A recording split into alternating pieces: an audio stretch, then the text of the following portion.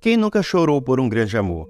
Quem nunca pensou que alguém fosse o amor da sua vida e no final acabou sendo apenas um degrau na escada? Ser decepcionado é inevitável, mas o que você vai fazer com essa decepção pode gerar consequências irreversíveis. Para algumas pessoas, os melhores sucessos vêm depois das maiores decepções. E dando continuidade à nossa série Mitos e Lendas do Marajó, hoje nós vamos contar a lenda da mulher de branco de Cachoeira do Arari. E para você que é novo aqui no canal, desde já seja muito bem-vindo e não se esqueça de se inscrever e também ativar as notificações para ficar por dentro de todas as novidades aqui do canal. E para você que não me conhece, meu nome é Gerson Santos e eu sou paraense.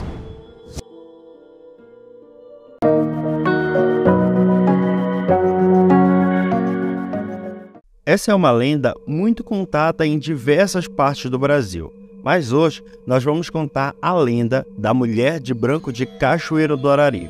Diz a lenda que no início do século XX, quando a sociedade acreditava que as mulheres deveriam somente se preparar para casar e cuidar de sua família, existia uma mulher muito bonita, de uma pele alva, sensível, amorosa, alegre, que sonhava com o amor de conto de fadas e que durante muito tempo se preparou para a chegada do tão aguardado príncipe encantado. E assim fez até conhecer aquele por quem se apaixonou perdidamente, o homem que acreditava ela ser o amor da sua vida. Ela se apaixonou quase que instantaneamente à primeira vista por ele.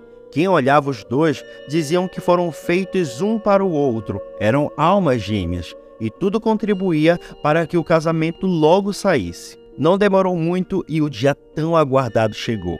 Tudo ocorria bem, na paz no amor, e ela acreditava que estava vivendo um sonho. Aquele era o melhor dia de sua vida.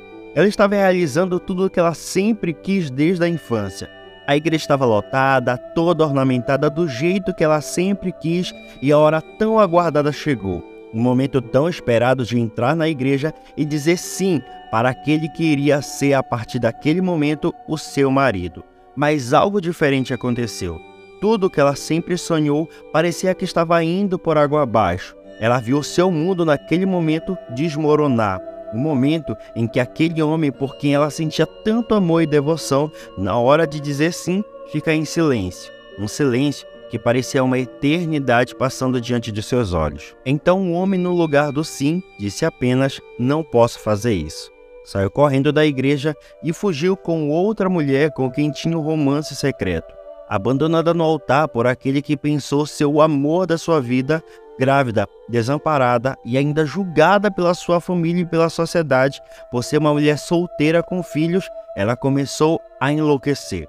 E sendo consumida por uma tristeza sem fim, todos podiam ver aquela pobre mulher perambulando pelas ruas da cidade com o seu vestido de noiva à procura do seu amado. O tempo foi passando e a cada dia a mulher ia tendo mais alucinações. E no ápice de sua loucura, ela acabou asfixiando seus próprios filhos que tanto lembravam de aquele que tanto amou. E vendo a besteira que fez, se enforcou.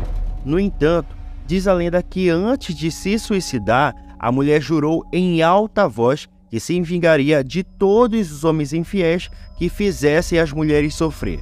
Em Cachoeira do Arari, existem alguns casos de alguns homens que dizem terem sido vítimas de uma mulher de branco. Um desses casos é de um homem que diz que na época do fornecimento de energia elétrica, que durava poucas horas por dia, ele caminhava na escuridão pela Rua Nova, perto da escola José Afonso Viana, por volta das 23 horas, quando avistou uma mulher muito bonita, com um vestido que resplandecia. E essa mulher misteriosa chamava ele para que ajudasse ela em algo que estava na pista de pouso.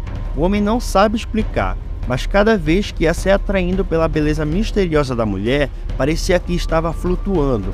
De repente, ele só se lembra que tudo foi escurecendo na sua frente e apagou. O dia foi amanhecendo e os primeiros raios de sol tocavam o rosto do homem que acordou meio desnorteado, sem saber onde estava. Ao abrir os olhos e olhar ao redor, o medo foi tomando conta do seu interior. Ele estava no meio do cemitério de Cachoeira do Arari, mais especificamente em cima do túmulo daquela que acreditam ser a mulher de branco.